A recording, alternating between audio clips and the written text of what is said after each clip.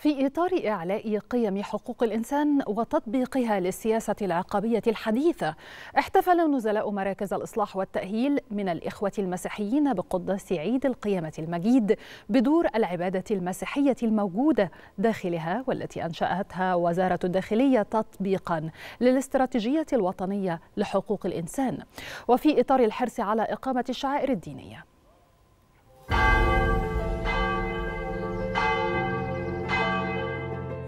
تنساب ترانيم عيد القيامة المجيد بين جنبات مراكز الإصلاح والتأهيل حيث يقام قداس عيد القيامة داخل دور العبادة المسيحية المقامة بهذه المراكز والتي صممت كمثيلاتها بالخارج لإقامة الشعائر وأحياء المناسبات الدينية.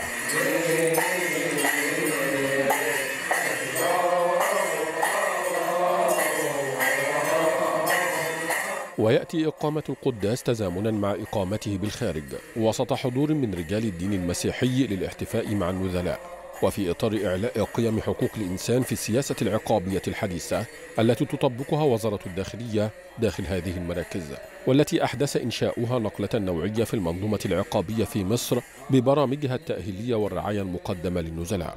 طبعا شكرا للسيد الرئيس عبد الفتاح السيسي شكرا لقطاع الحماية المجتمعية على مشاركتهم معانا الأعياد في مواعيدها فدي لمسة وتدي معايير مهمة جدا للإنسان إن حقوقه متكاملة الموضوع بيفرق نفسيا مع النظراء خالص بيحس إن الدنيا بتبقى أفضل لهم شوية بيحسوا إن هم موجود أكنهم يعني موجودين مع أسرهم يعني. بنشكر طبعا الدولة على مساعدتها وإسهامها إنها بتحاول يعني تسعد كل إنسان موجود وكل نزيل موجود هنا في مراكز الإصلاح والتأهيل.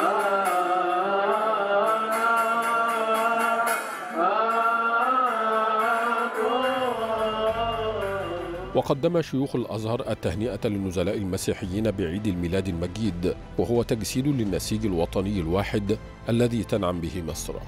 نرضع الله عز وجل أن يحفظ مصر حكومة وشعبا مسلمين وإقباط من حقد الحاقدين وحسد الحاسدين ومكر الماكرين وإرجاف المرجفين وخيانة الخائنين وكل عام وحضراتكم بخير ونتمنى لكم كل الخير. طبعا ده بيعكس روح المودة والمحبة والألفة بين شركاء الوطن جميعا يعني ايا كانوا مسلمين أو مسيحيين يعني.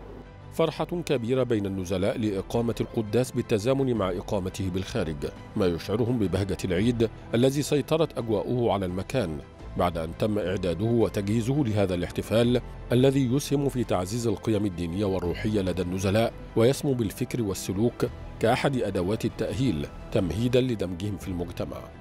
بجد أنا بشكركم جدا على تعبكم معانا النهارده. أسعدتونا جامد قوي أنا وإخواتي. دي لفتة طيبة واسعدتنا وغيرت نفوسنا للأفضل كل النزلاء وأسعدت كل الناس الموجودة.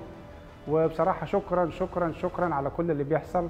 وقام قطاع الحماية المجتمعية بتوزيع كحك العيد على النزلاء وهو من إنتاج نزلاء مراكز الإصلاح والتأهيل.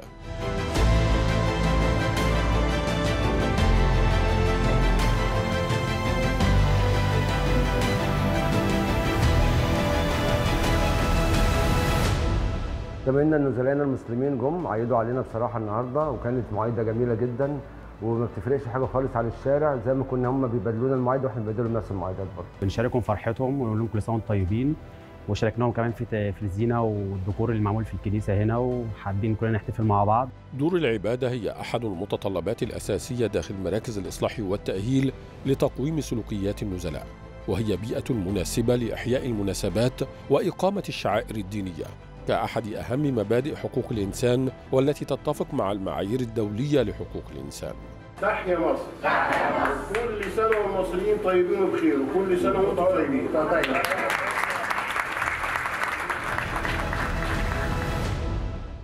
رؤية إصلاحية متكاملة وحديثة تطبقها وزارة الداخلية داخل مراكز الإصلاح والتأهيل تعتمد على الارتقاء بسلوكيات النزلاء الفكرية والدينية وتتماشى مع المعايير الإنسانية لحقوق الإنسان وتعتمد في أحد محاورها على إحياء المناسبات الدينية.